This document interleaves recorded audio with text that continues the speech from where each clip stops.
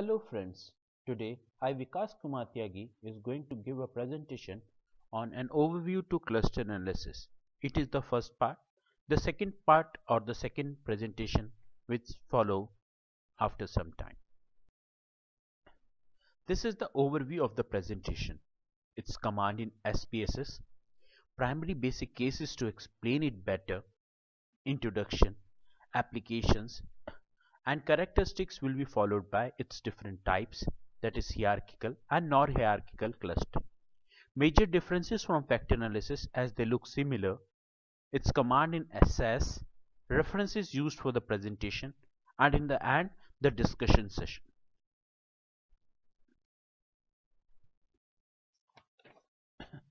Before we start further, I would like to show you the command in SPSS for cluster analysis. It is relatively simpler than the factor analysis which we discussed in last presentation. This generally follows factor analysis and is followed by discriminant analysis. You find it you find it in classify section under analysis as you can see here.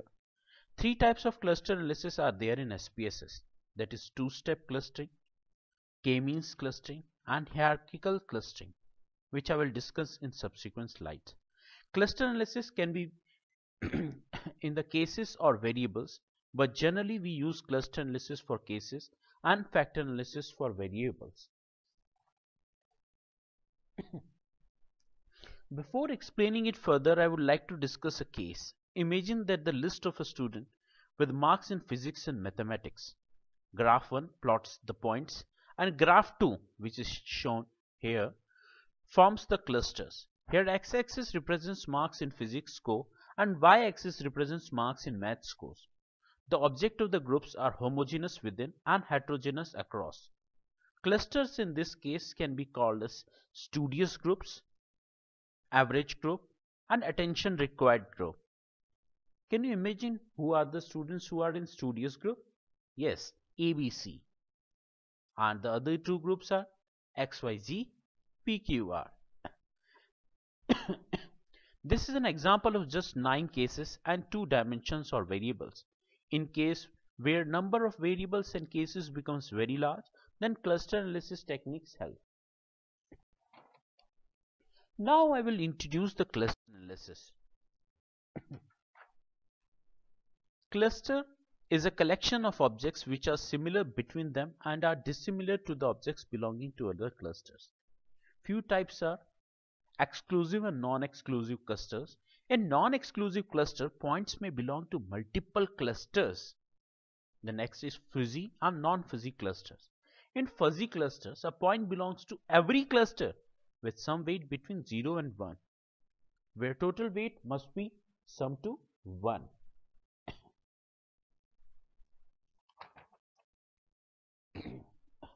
Cluster analysis is a multivariate statistical process of organizing objects into groups whose members are similar in some way.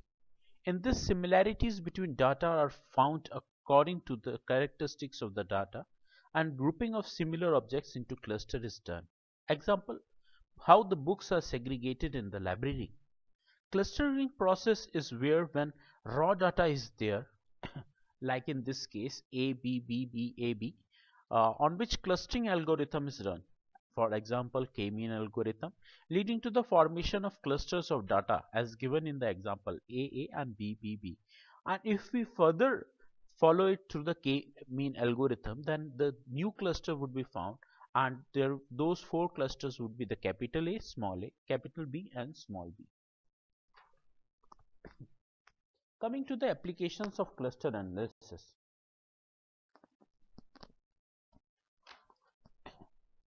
Cluster analysis helps in data reduction as in summarization, compression and data mining, hypothesis generation, testing and framing foundations for future research, outlier detection and in data cleaning, marketing research as in understanding consumers, consumer profiling and segmentation.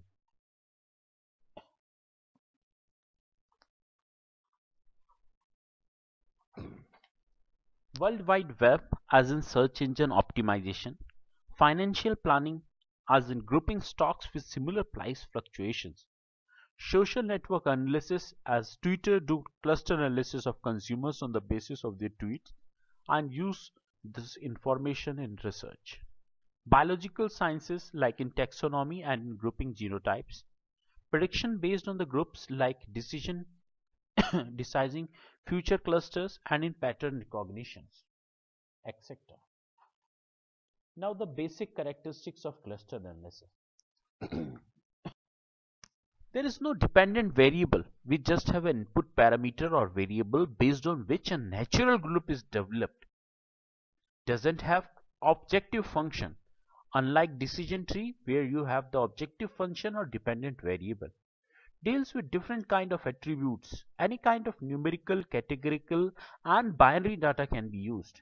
However having a mixture of different types of variable will make the analysis more complicated because in cluster analysis you need to have some way of measuring the distance between observations and the type of measure used will depend on what type of data you have Example, age is in number of years, height is in number of centimeters, income is in rupees.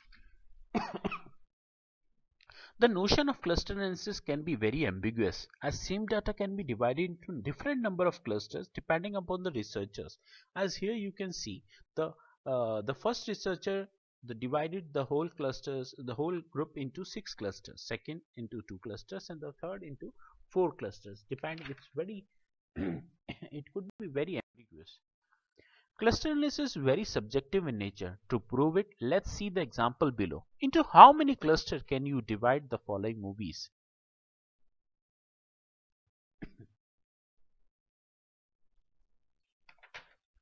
Probably 2 or 1.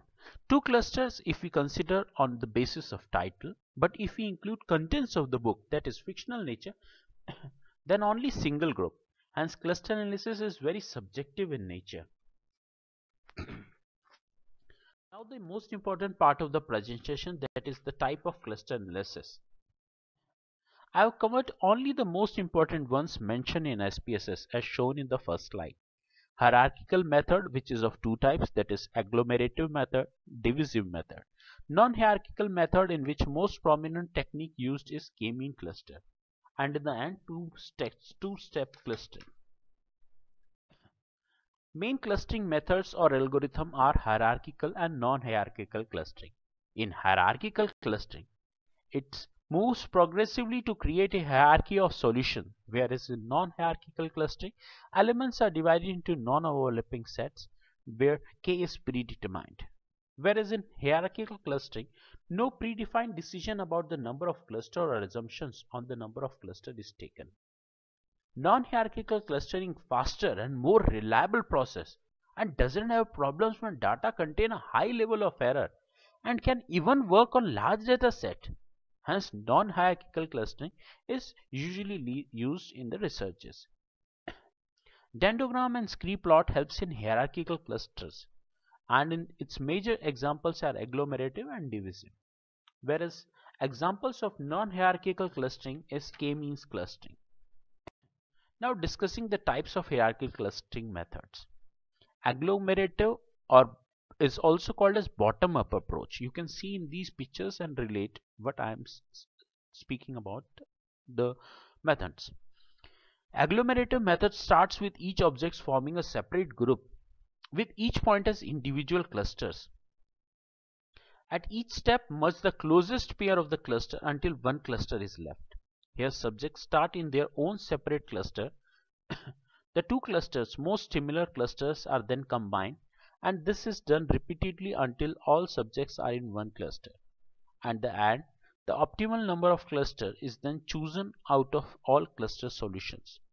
Agglomerative methods are used more often than the divisive methods divisive methods is also called as top-down approach where we start with all the objects in the same cluster. Start with one all-inclusive cluster. At each step split a cluster until each cluster contains a point. Here all subjects starts in the same cluster. Clustering strategy is applied in reverse until every subject is in a separate cluster Now how distance is measured between two clusters? It's measured through linkage function. is all about how you calculate distance between two clusters that is intermediate cluster distance. A single linkage where distance between two closest objects from both the objects is measured.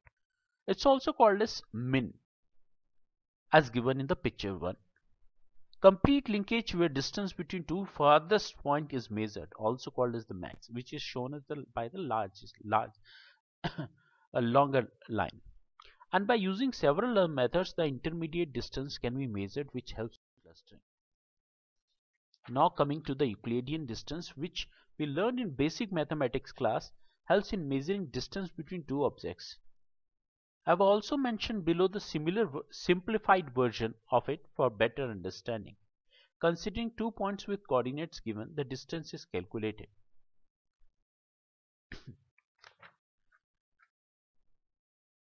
Coming to the scree plot, which helps in hierarchical clustering is given below. Here a plot of number of clusters and sum of within cluster variance is mentioned below, which helps in hierarchical clustering. If there, if there is just one cluster, the variance is 32. If two clusters are formed, then the total variance will reduce to 16 and so on. At total cluster 3, we get elbow point which tells us the optimum number of cluster we should take.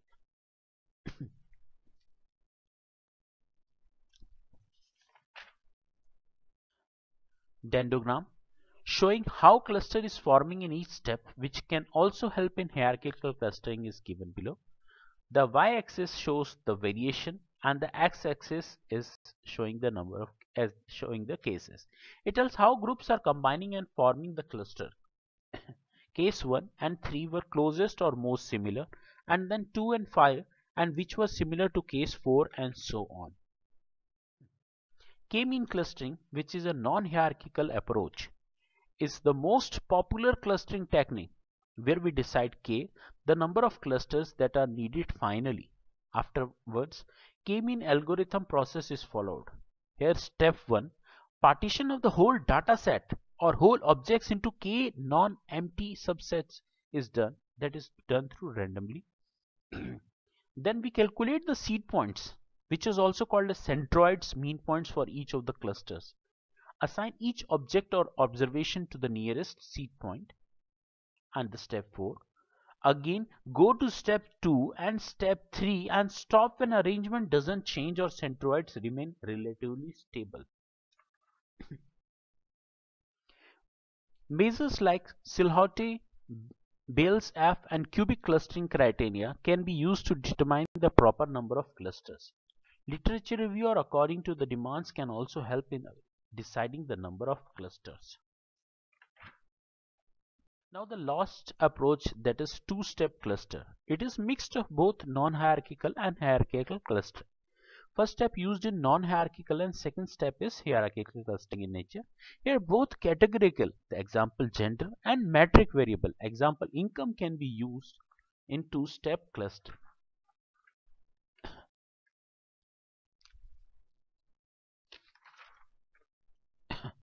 How cluster analysis is different from the factor analysis? It's a very important question.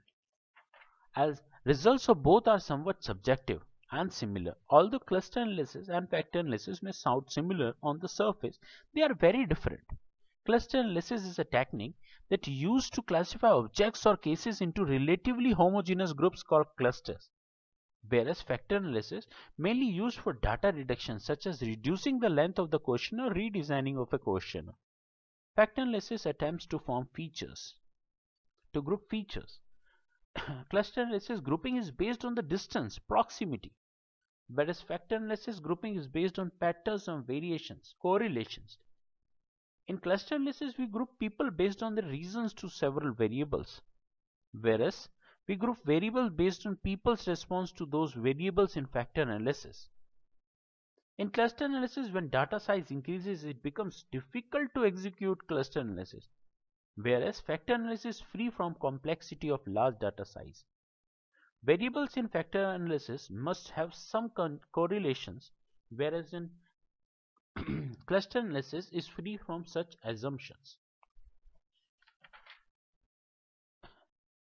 Most important example. Suppose a, suppose a group of people answer a bunch of questions about say politics.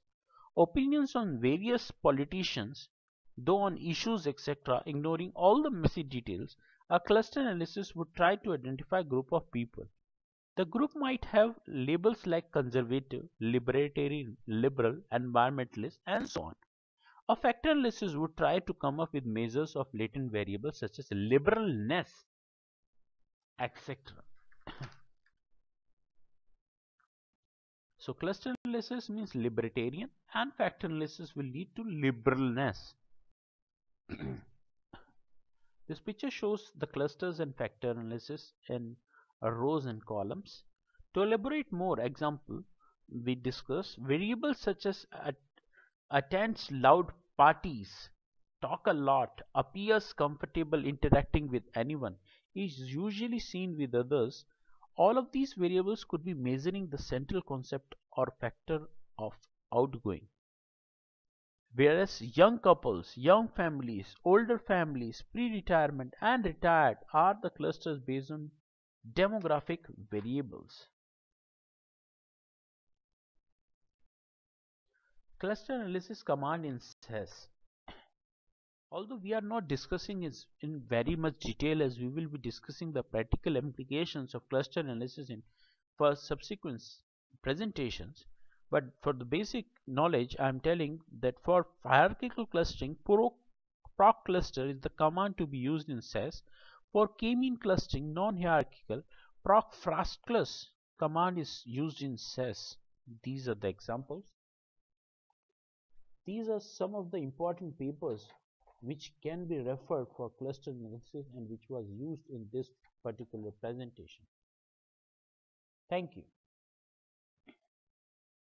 I would request you to like and subscribe my channel and you can contact me on my email id vikas.dtyagi.15 at the gmail.com for any queries or suggestion which you can provide to improve this presentation. Thank you.